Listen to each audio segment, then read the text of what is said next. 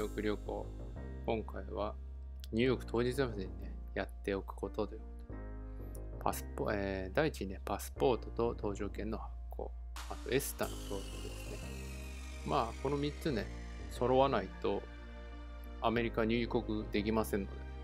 一つ覚えておいてください。それでは行ってみましょう。ではね、パスポートと搭乗券の発行について話していきたいと思います。まあ、海外旅行行く方はね、まあ、パスポートが必要っていうのは分かってると思うんですけど、あの、知っといてほしいのが、発行までに1週間ぐらいが必要。あと、パスポートセンターまでわざわざ出向かなきゃいけないっていうのと、費用としてね、5年間有効12歳以上で1枚1000円ぐらいが必要。で、まあ発行にあたっては一般の受け発発給申請書。これはパスポートセンターにあるんで、これはいいでしょう。あと戸籍謄本、他証本、住民票、顔写真とパスポートサイズ用にね、カット。まあ、カットしてくれますんで、ね、まあ大丈夫でしょう。ちゃんとパスポートサイズ用に合ってれば、まあなんか言われることはないと。あと本人確認仕様ね。マイナンバー、運転免許証。マイナンバーの通知カードだとダメなんで、顔が、顔写真が入ってる。必要なので覚えておいてください。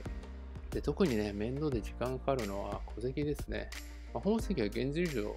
まあ、その付近になってる人は、まあ、そこの区役所等々で取れるんでいいんですけど、まあ、僕もそうだったんですけど、ちょっと本籍がだいぶ遠かったんで、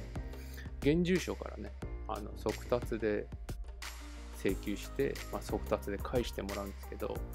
まあ、平日でやってもね、やっぱり2、3日かかって、土日挟んだらやっぱり4、5日かかっちゃうと思いますんでね。なのでまあ、海外旅行ね、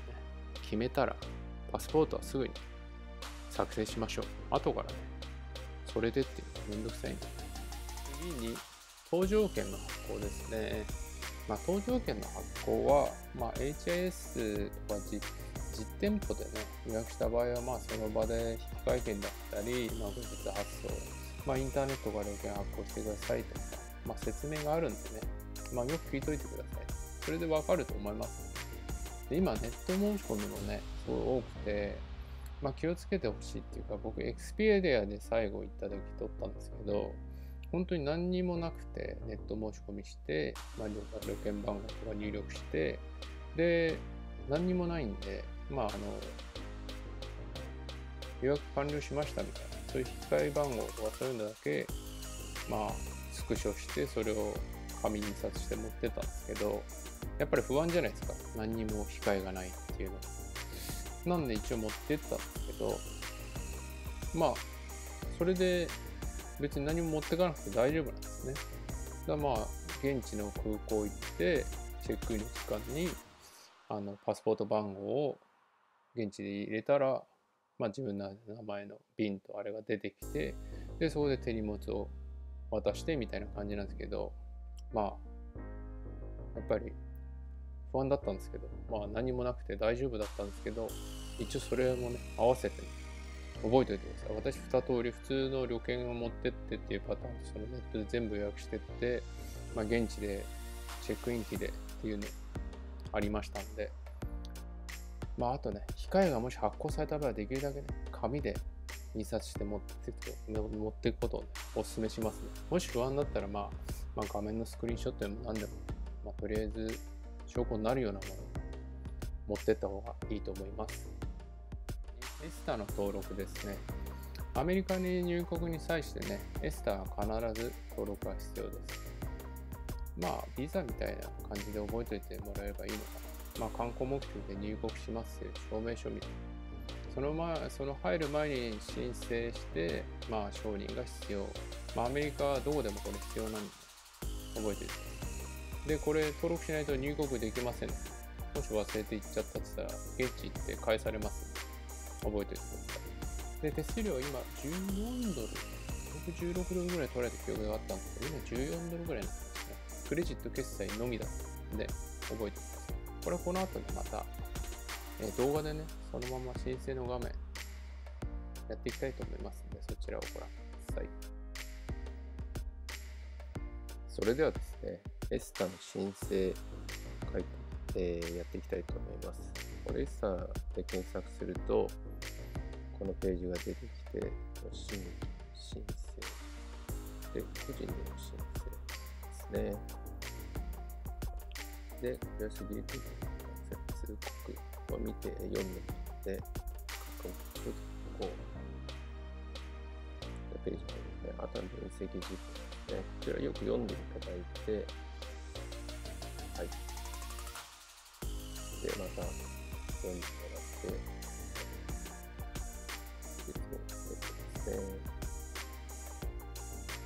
ここからは申請者の情報ですね。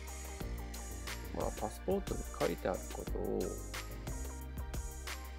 順によって入力していくだけなんで、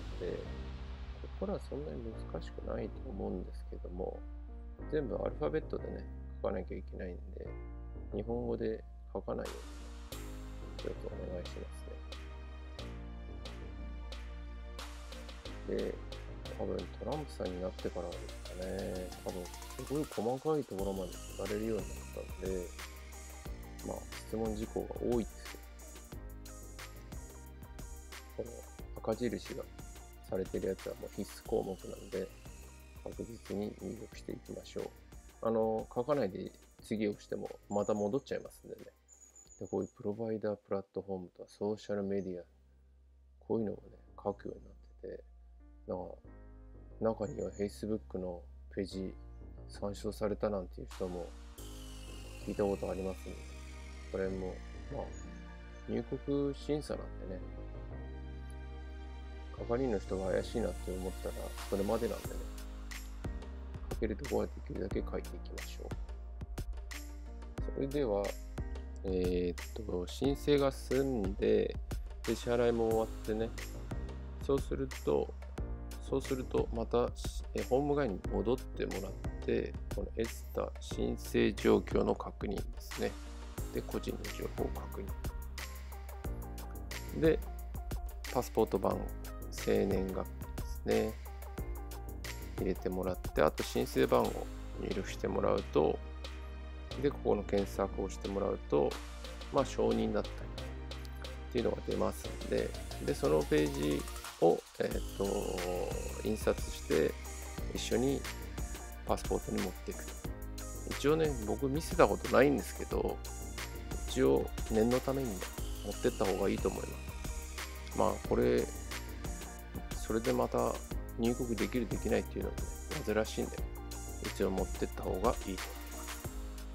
それでは今日の動画はここら辺で終わりにしたいと思います。ご視聴ありがとうございました。